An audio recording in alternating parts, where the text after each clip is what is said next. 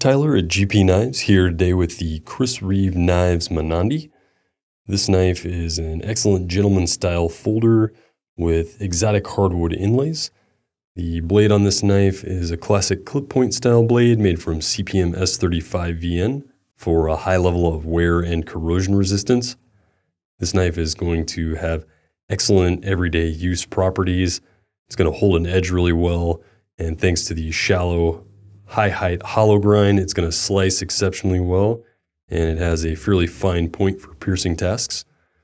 The knife is also going to be easy to maintain thanks to its highly corrosion resistant nature.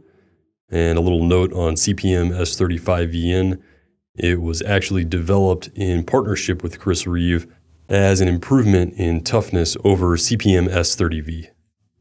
The Mnandi features a full titanium frame lock construction with exotic hardwood inlays.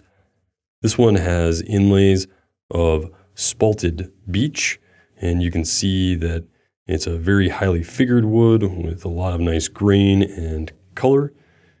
We've got two-tone finish on the titanium with a gray bead blast on the spine here and then a satin finish on the sides of the handle. The knife opens via this notch cutout on the blade. You can see it's designed mostly for two-hand opening, but with a little dexterity in the hand, you can operate that one-handed. The knife operates very smoothly thanks to a phosphor bronze pivot system the Mnandi carries via a 3D machined titanium pocket clip set up for right hand tip up carry, and it carries very securely.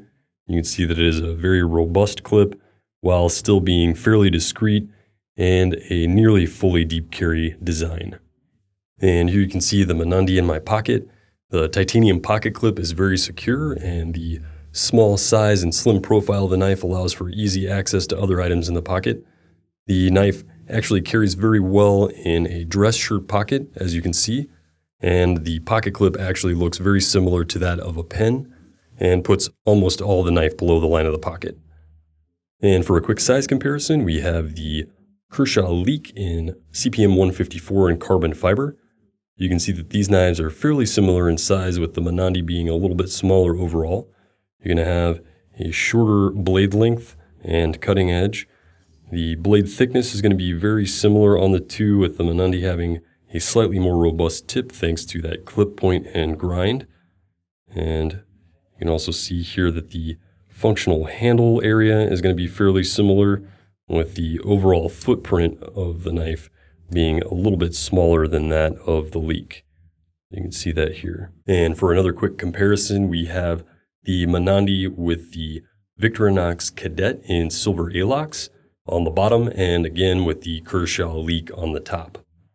And here's a quick shot of the footprint of all three, again with the Victorinox Alox Cadet on the left, Mnandi in the center, and Kershaw Leek on the right. And here you can see the thickness of the Mnandi with the Cadet Alox from Victorinox. You can see that it's just a hair thicker than that. And here you can see it with the carbon fiber leek from Kershaw and you can see that they are almost identical in thickness.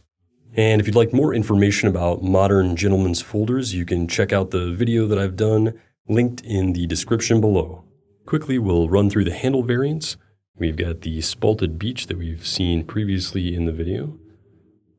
And you can see that this has a lot of really nice figuring and color banding in the handles. And these are all going to be unique and vary from knife to knife. So even if you get a knife with a specific wood handle, it's going to look a little bit different from the ones shown here. Here we've got the bog oak.